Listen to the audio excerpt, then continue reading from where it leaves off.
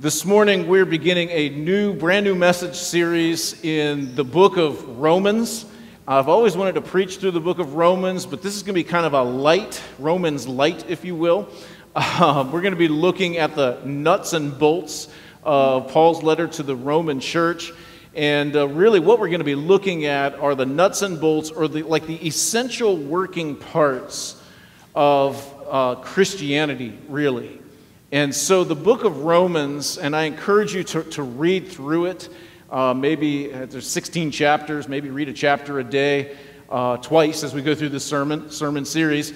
Um, but I encourage you to read it because we're not going to hit everything. But in the book of Romans, you really find some of the most foundational, um, some of the most important, some of the most uh, deepest theology that you really find anywhere in the Bible. It is packed full and um, in, in, in, the book, you can find a number of, um, oh man, uh, basic truths, uh, along with some advanced concepts, and of course, practical applications for Christianity. But like I said, what we're going to be doing is kind of, kind of an overview of Romans. We're going to be covering some of the highlights.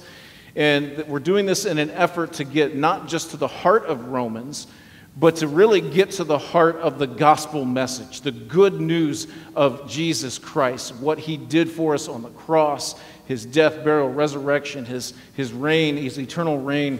And so we're also hoping that through this series, series that we're going to get to the heart of God, what his will is for our lives, what his purpose is for our lives. And so hopefully, what we discover in this series uh, will, will inspire us with passion and that it will ignite us to, to action, to actually do something with our Christianity. And today we're going to start in the 13th chapter of Romans. I love it. 13th chapter of Romans. If you have your Bibles, go ahead and turn, turn to Romans chapter 13.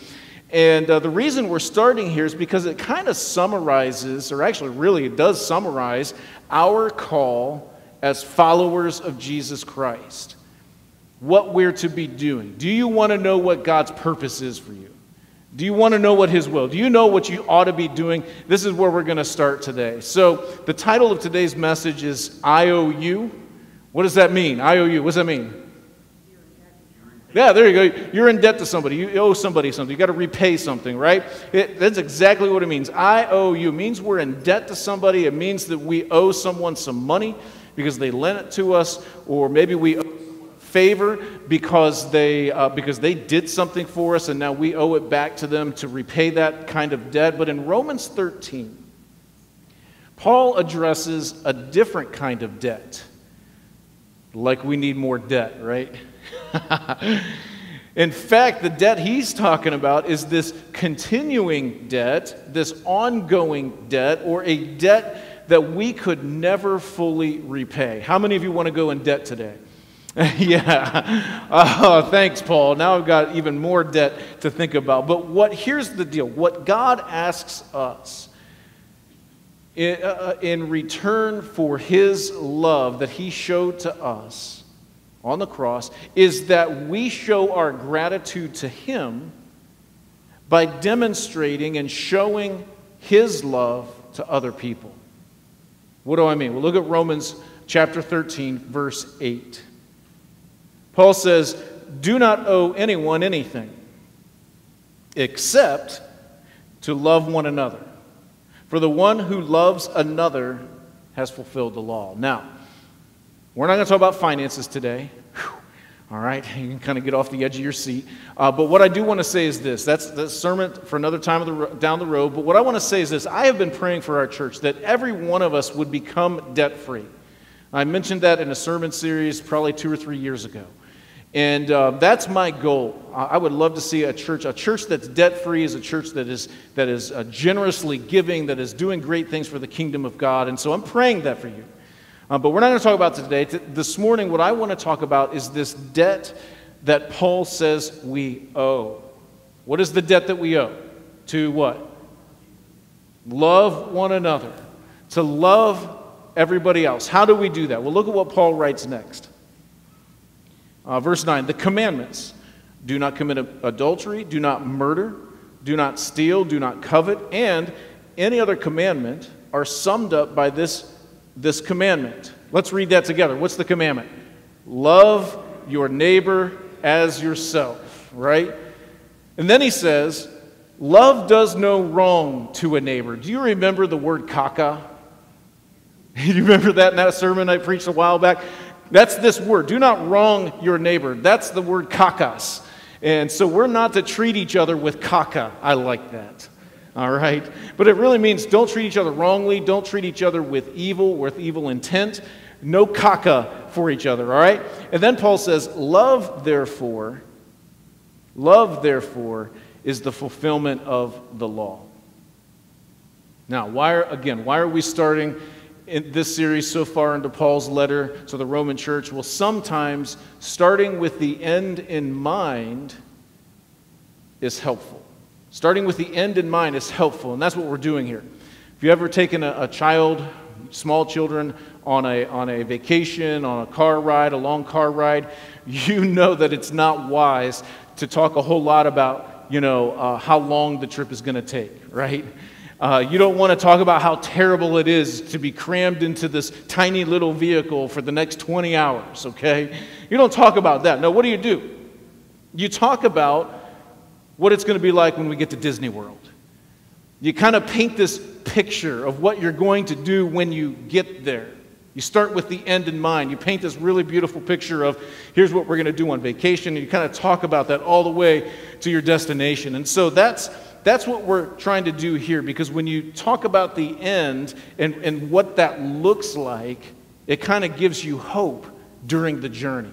You look forward to it. And so that's what we're doing here. We're getting the big picture so that we can kind of keep things in perspective. And we'll talk more about those little things leading up to this moment over the next few weeks, but just kind of a brief overview. So far in the book of Romans, Paul has painted this picture of. Um, he spends a, spends a lot of time writing about how uh, trying to, to fulfill the works of the law, trying to do what is right and obey the rules of the law in order to, to earn righteousness doesn't work. Paul spends all this time kind of laying that foundation of man, you can, you can do all these good deeds, you can, you can give all your money, you can go out and help other people, but that's not going to earn righteousness. Or, in other words, it's not going to make you good enough to get into the kingdom of heaven, to get into heaven when Christ comes back or when we pass from this earth. And so, uh, Paul has talked about so far that it doesn't matter if you were a Jew growing up with the law in your life and you, you know, respecting it and obeying it, nor does it matter if you were a Gentile, a non Jew who lived without the law as you were growing up, because here's the, here's the whole thing. When Jesus came to earth, he changed everything. When Jesus came to earth, he changed everything. Now, listen, God is timeless. God is never outdated, right? He's not concerned about your spiritual heritage. And a lot of us, we take pride. Well, I grew up in the church, I was born in the church. He doesn't really care about that part of it. In fact, he doesn't care if you weren't born in the church or you didn't grow up in the church. What God cares about, what God is focused on, is your present and your future. How are you living right now?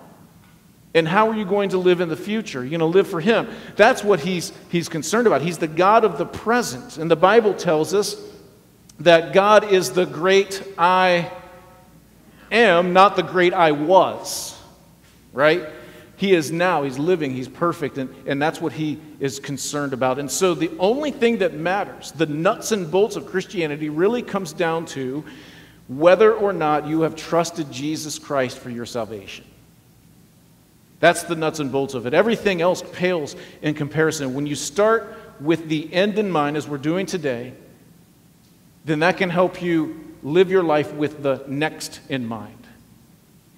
How do we how do we progress in this journey of Christianity? How do we get to love everyone? Now, look at verse 8 again. He says, Do not owe anyone anything except to what? Love one another. Now, while we're here on this earth, While we're here on this earth, that's the goal. As Christians, as followers of Jesus Christ, that's the goal. Because Jesus loves me, and because I love Jesus, then I owe it, I'm indebted to everyone, everywhere, to love. This is what Paul is getting at here. You owe it to love everyone who isn't you. That's the verbiage he uses. That's what you've been called to do. That's whom you've been called to love. Everyone who's not you. Any person that you encounter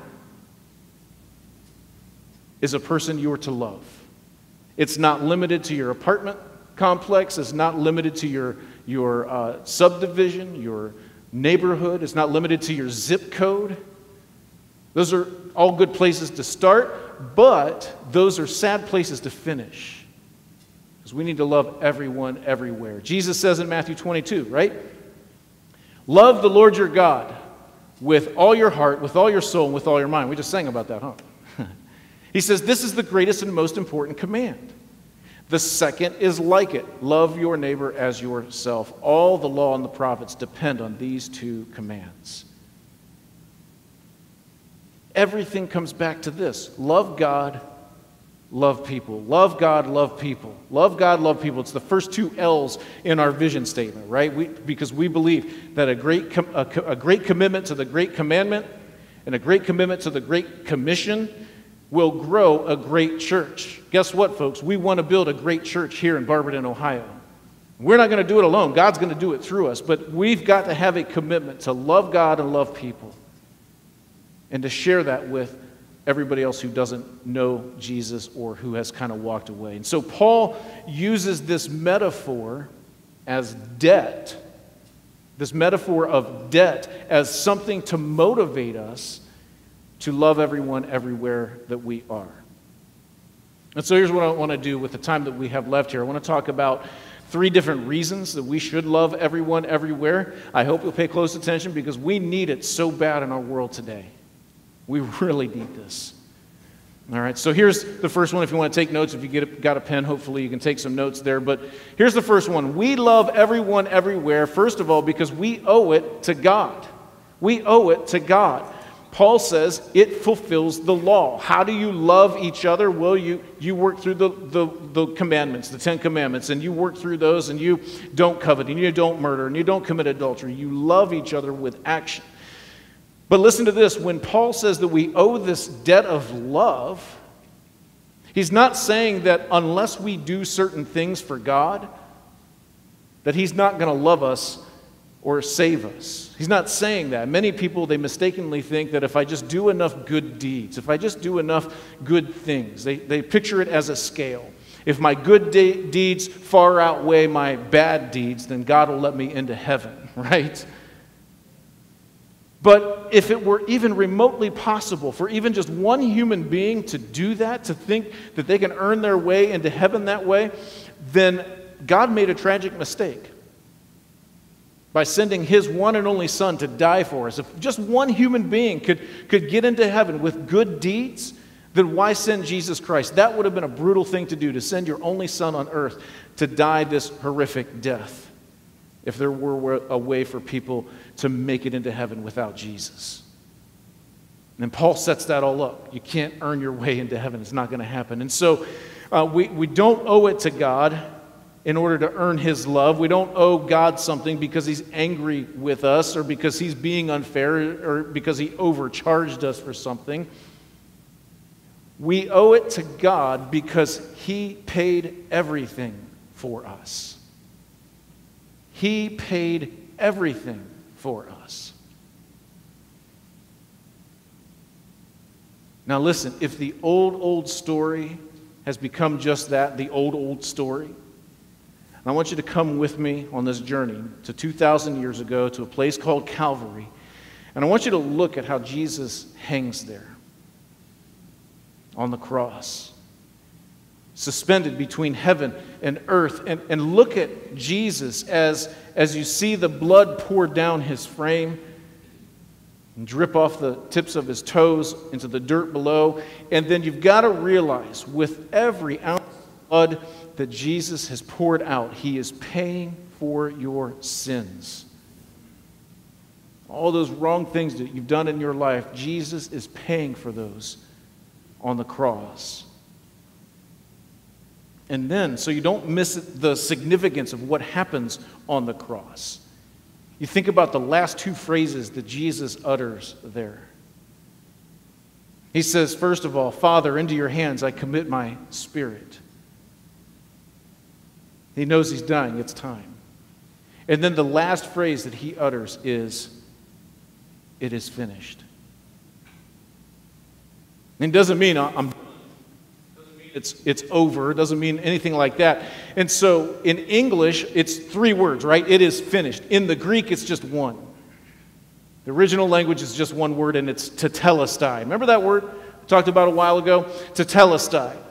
In Jesus' day, this is a word that, that you would uh, find at the bottom of merchants' receipts. If you went out to the marketplace or you would purchase something or maybe you purchased a service, the merchant would write, after the final payment had been made, he would write at the bottom of your receipt, tetelestai. And it means paid in full.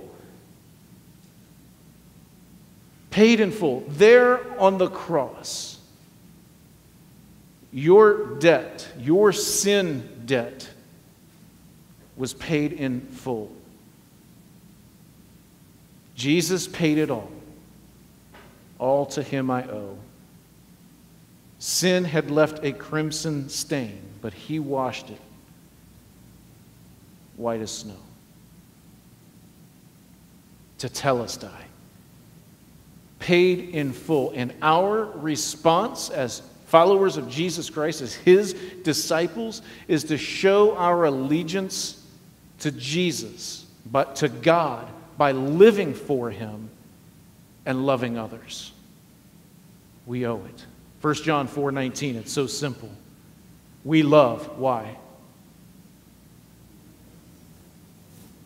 He first loved us. It's so, so beautiful when you realize the depth of God's love for you then your love for others can no longer remain this shallow course of action. It's deep. Here's the second one we love everyone everywhere because we owe it to people. We owe it to people.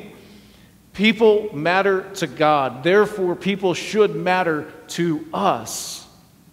And when we realize how much that we need, we, each of us, we need God's love, we know, we know we surely aren't the only ones who need God's love.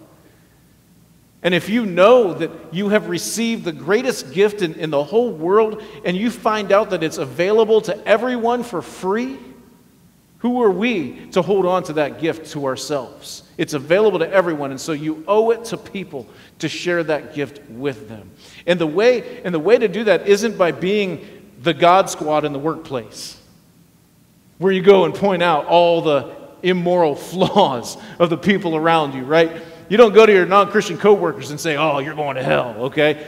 Look at uh, 1 Corinthians chapter 5. Paul says, What business is it of mine to judge outsiders, to ju- judge those who are outside of the church? He says, Don't you judge those who are inside? And then he says, God's going to judge the outsiders. It's up to him. Now, you've probably heard me say before, you know, we're not to expect the world to act like the church, right? You've heard me say that? We're not expect the world to, to act like the church. It just can't happen. But on the other side of that, we cannot expect the church to act like the world. That's where this, these, uh, that's, that phrase comes from these two verses. As Jesus' disciples, as his disciples, we are called to hold each other accountable to encourage each other, to build each other up, to correct each other when we do something wrong or, or, we sin. It. And so we're not called, we are not called, on the other hand, to hold non Christians accountable. That's not our place. We can't expect the world to act like the church.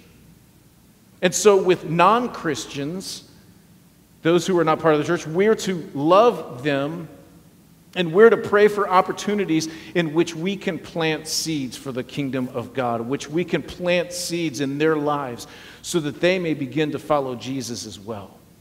That's what we're called to do. And it's not going to happen if we have a judgmental spirit. it's not going to happen that way.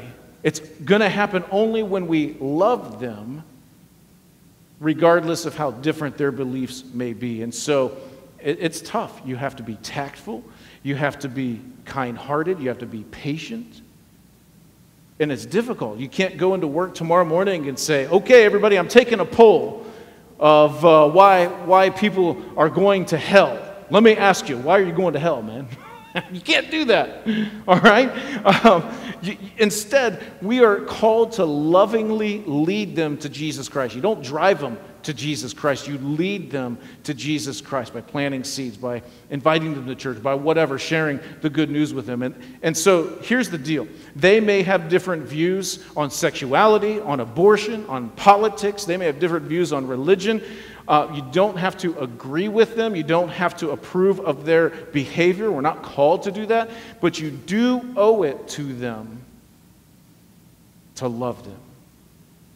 Paul said it in Romans 13 love anybody, everyone who is not you. We're called to love them. Paul knows that when we love them with the love of Jesus Christ, we have a much better chance of looking like Christ and reaching them for Christ. They will know that we are Christians by our love. yeah, actions and love, right. They will know that they are Christians by our love. And we're to plant seeds. We're to look for opportunities to love everyone, everywhere with the love of Jesus Christ. And the focus should be Jesus. Colossians chapter 1, it says, We proclaim Him, we proclaim Christ warning and teaching everyone with all wisdom so that we may present everyone mature in Christ. I labor for this, striving with His strength that works powerfully in me. In other words, when I focus my efforts on Jesus Christ and I share that with other people, the focus is on Him and not on me. And when we make Jesus the focus and we make love the vehicle, we have this potent combination, this powerful combination, regardless of a person's past or present, to make a difference in that person's life. It takes love and it takes a lot of work. So, we're to love everyone everywhere because we owe it to God, we owe it to people. Here's the last one we owe it to the world. We owe it to the world. Um, look at verses um, 11 and 12 here. He says, Beside, Besides this, since you know the time, it is already the hour for you to wake up from sleep, because now our salvation is nearer than when we first believed. The night is nearly over, and the day is near, so let us discard the deeds of darkness and put on the armor of light. The night is nearly over. Man, you got to realize the world as we know it, it's coming to an end. It's tragic. A new day is about to begin. It's not tragic for us who are Christians. we can't wait, right? But Jesus is coming back, I mean, really soon. And perhaps nowadays, it seems like it's just right around the corner. We got this worldwide pandemic going on. And I'm not just talking about the coronavirus pandemic. We've got a pandemic of relentless hatred in this world. Relentless hatred that people have for one another. Whites hate blacks, blacks hate whites. Republicans hate Democrats. Democrats hate Republicans. Christians hate atheists. Atheists hate Christians. CNN hates Fox News. Fox News hates CNN. Israel hates Iran. Iran hates Israel. And I can't believe the words that I hear coming out of Christians' mouths when they say, I hate President Trump. I'm not here to defend President Trump today. Well, maybe I am a little bit. But I'm telling you, Christians, it's disgraceful when those words come out of Christians' mouths. And I want to encourage you if those words have come out of your mouth, I hate President Trump or I hate whomever, I want to encourage you to go back and read the beginning of Romans chapter 13, the, the chapter that we're in today. Go back and read it because that's not what we're called to do, to hate somebody who's the leader of our country. Read Romans chapter 13. Man, we're suffering this, this pandemic of hatred in this world, and unfortunately, we Christians, we're not exempt from it. We're not exempt from on and on and on it goes. And maybe we've just kind of settled into our own existence and we've kind of owned it. We've lost our sense of urgency for this world. We've kind of blended in and even embraced this pandemic of hatred. And it's just sad. Are you with me?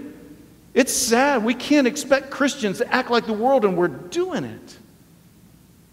I ran across, uh, across a quote last week. I was studying for this message, and it said this Your evangelism, your sharing of the good news of Jesus Christ, when you're talking with other people about Jesus, your evangelism will sound like a sales pitch when your Jesus is just an idea and not a living person whom you actually know. There's a lot of truth in that. And, and our time is dwindling. It doesn't matter how old you are. You, you, you don't know if you're going to live another week. You don't know if you're going to live another 30 years. You don't know when Jesus is going to return.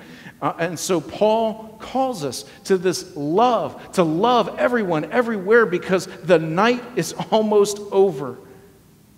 He's very upfront. This world is coming to an end, and we owe it to the world to, to love them because we are running out of time. As Jesus, as followers of Jesus, we are called to be light in this dark world, to throw off the deeds of wickedness and to love. We, we're called to love the world for the sake of the world. I hope you're with me. Let's put an end to this pandemic of hatred. We can do something about that. It's kind of difficult to do something about coronavirus. we can do something about hatred. We can just love. That's most important. You see, according to the Apostle Paul, we each have a pretty big neighborhood. it's the world that we're called to love. It's, it's the person in the apartment complex next to you. It's, it's the barista at your coffee shop. It's the businessman on the plane next to you if you do a lot of flying. It's the waitress who looks like she's having a rough day. It's the person who looks differently from you, who thinks differently from you, who acts differently from you, who has a whole set of different values from you. We are called to love everyone everywhere, and we're called to love everyone who is not you. At Calvary, God so loved the world. So dramatically, so completely. And at Calvary, He didn't play any favorites. This wasn't for white people or black people. This wasn't for Republicans or Democrats. This was for everybody. He loved everyone, everywhere, regardless of race, political stance, or whatever. Now, we could never pay that kind of love back to him, right? but the beauty of grace is that Jesus doesn't ask us to pay back to him to pay him back. He asks us to pay it forward and, and to show the love of Jesus Christ to everyone, everywhere, just as he showed it to us on the cross.